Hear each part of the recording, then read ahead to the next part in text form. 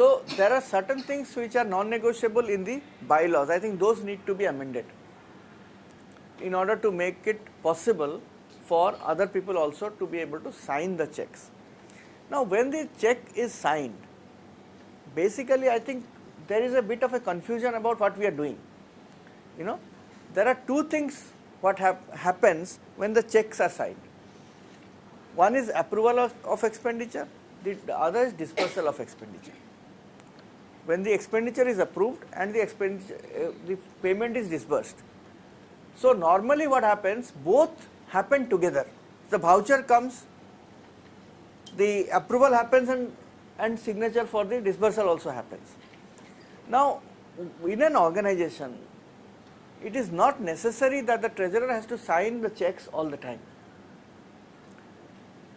It could be as part of the procedures, what kind of payments the treasurer should approve, what kind of payments should be approved at various levels and so on can be decided.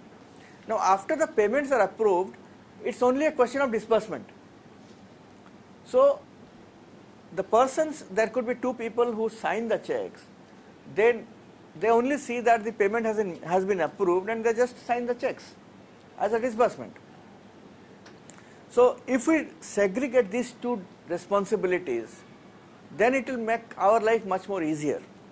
Otherwise, they will come with so much of checks and then humanly it is impossible for the treasurer or any, any person for to go through each and every payment. And this whole question of this four eyes principle where you know one person's work is checked by another is a complete failure. Right? So therefore, we need to be innovative about it. You know, there are organizations where there are single single signatories also. Up to 20,000, if the regular expenditure, the CEO is empowered to sign. Beyond 20,000, there will be another person. So, you know, there can be various ways in which this whole signatory thing can be organized. But if we have a double signatory, if we say that we will keep one signature, which means basically we are reducing the double signature to a single signature basis.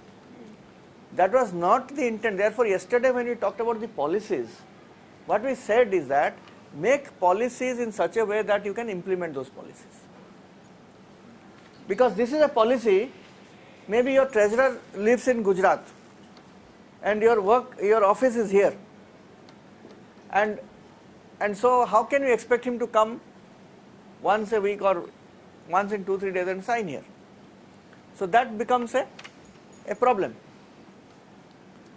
So, so therefore the policies have to be in such a way that it can be implemented. And, and such kind of abuse of the policy should be avoided. In an exceptional situation in some organization, once in a year, one check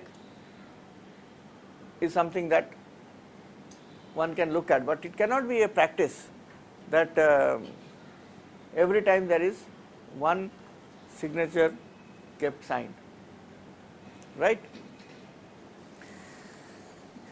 Okay. Just, um. Can I Yeah. just add to that? Um, at our place, we have a very large uh, institute where there are seven sections uh, within the main section. So what we've done over there is actually, like you just suggested, have levels. So up to 20,000 or 50,000 X people can sign, and above 50,000 it has to get one board member's approval. But what we recently uh, put into place is that it doesn't matter if the treasurer is traveling, because he's one of those three signatures. But at the end of the month, he gets a statement of all payments made, so that he's always on top of it and can never say, you know, as a treasurer, I wasn't aware. So that That's a, that's a, that's a very important and, and a very good input. You see, the treasurer should have oversight. You know, in governance, if we do do governance workshop, we say the board has to have the oversight. Now, how the treasurer will have oversight unless you have certain MIS systems within the organization to appraise the treasurer. So, which are the payments which have been uh, given and so on. Uh, that sort of a oversight that treasurer should keep, maybe monthly one um, statement which should go signed by the chief functionary that these are the various payments have been made, um, budget uh, analysis maybe once in a quarter, things like that which will keep the board uh, informed know, of what is happening. Uh, recently, there was an organization where uh, um, they were disbursing funds about 50,000 to one person uh, every month. And uh, this person was getting taking 2000 rupees um, per child for 25 children for their education in a slum in Delhi. And so when the check came for signature, the treasurer asked that uh, this person signs and takes the check. Now what happens after that? Whether he disburses this money to the ch children, whether he gets uh, receipts or vouchers or what. He said no, he gets a list where their various signatures are there that he has further disbursed to them. I said to these people that you know have you ever checked whether the or whether he gets it done from the street some people or is it really authentic? How will you check? They were really not uh, thinking this. Um, I just left it at that and after two days this finance manager called me and said sir what we did was we disbursed the check. It was a bearer check to him and I asked my accountant to follow him. he went to the bank and as he was taking out the cash, he was signing the 25 oh in left hand and right hand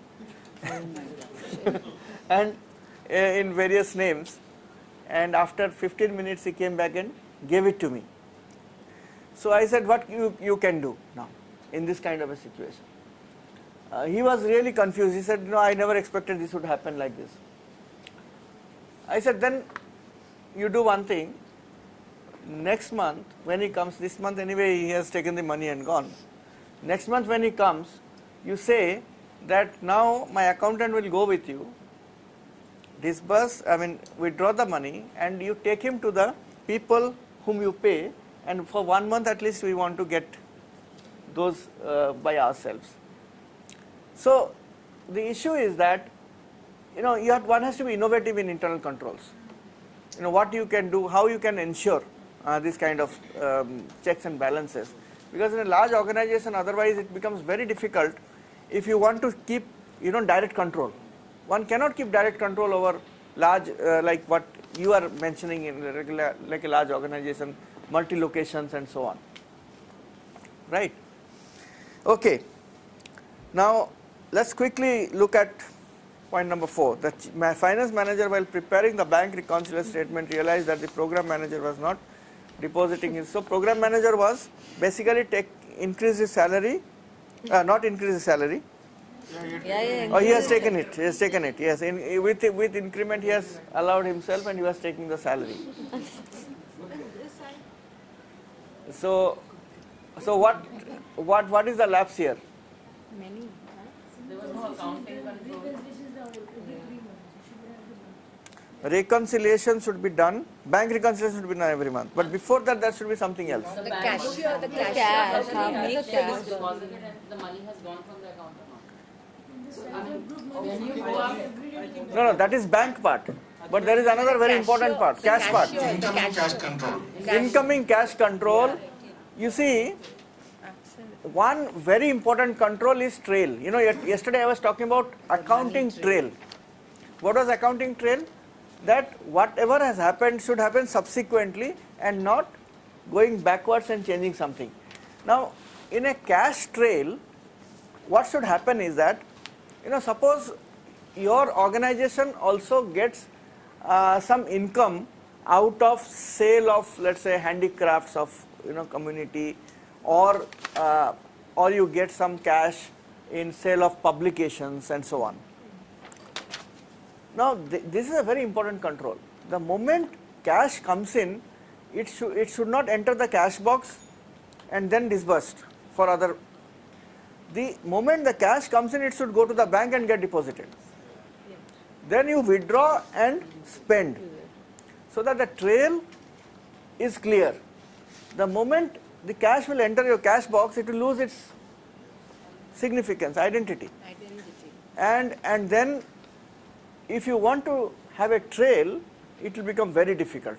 So somebody will say, oh, I had given it to him and he did not put there and you know there will be a lot of confusion around.